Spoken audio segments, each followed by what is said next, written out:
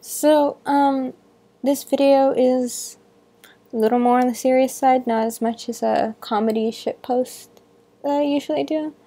Um, it's actually a writing piece of mine. Uh, I wrote it about two years ago, maybe a year ago. I'm not. I'm not really sure, but I wrote it a while back.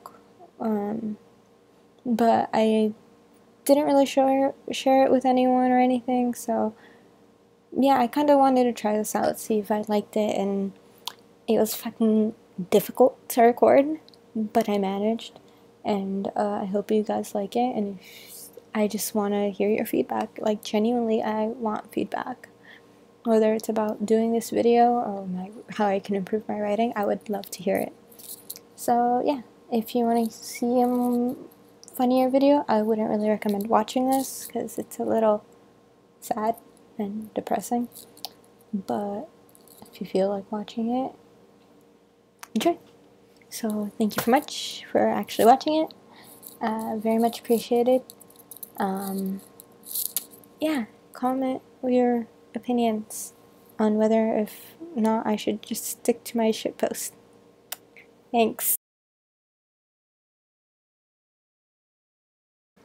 I found happiness at 2 a.m. How? I don't know. I just fall in love with the quiet, the potential of the day that lies ahead of me. The day will start like an ordinary day, but can end up changing my life as I know it.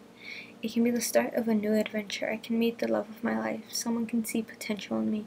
I can finally find my voice to speak up. The day is full of unknowns and adventures. The day you were born started as another day, yet it became magical.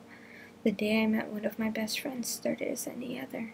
The day I met the first boy I fell in love with started like today. It was ordinary until it wasn't. It's strange. Life is crazy. You do things you don't even notice until one day you look in the mirror and suddenly your hair isn't in your face, half your face is no longer covered. Someone points out that you're speaking louder you're standing a little bit taller. These things just randomly start one day until it becomes routine. You become someone, something you would have never thought you would have become. You never did it on purpose. You never meant to do it. You just find this confidence in yourself you never knew you had.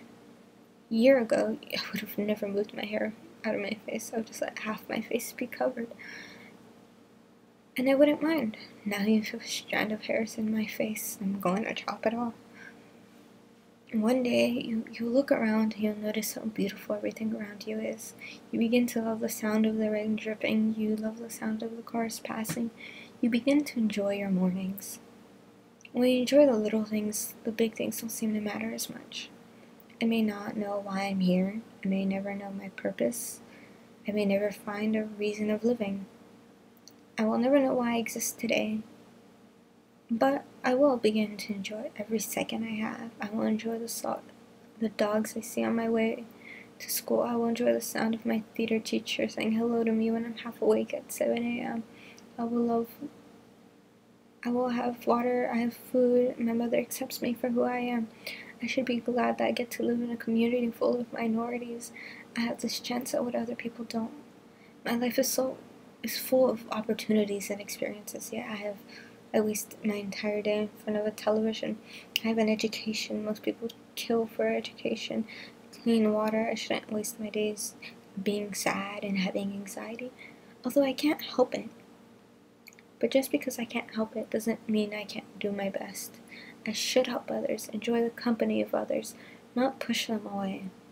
Live a little. I believe in you. You can do this.